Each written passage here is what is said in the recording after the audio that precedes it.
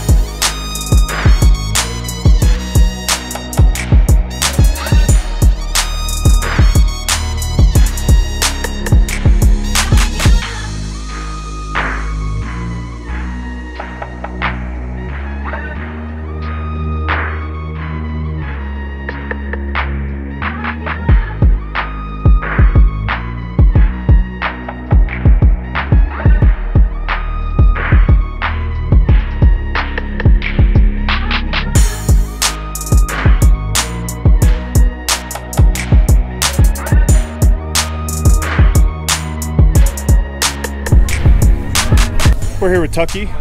Tucky. Hi guys. Tell the viewers, you recently sold that uh, crazy 3D wrap charger now, huh? I did sell old gold tooth. It's been ripped apart. Oh. Stripped. here.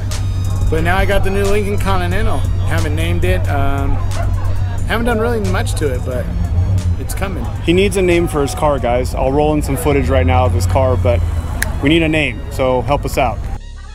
It's what, a four banger twin turbo? Uh, it's actually a V6. oh, it's a V6 Easy twin turbo. Easy over the four bangers over here. So how do you like it? Uh, can't complain. Super luxury and it goes a little faster than my other Charger. Do you want to show it? Uh, it's way too far. Oh, it's whatever. It's hot. Okay, I'll just roll in some pee. footage.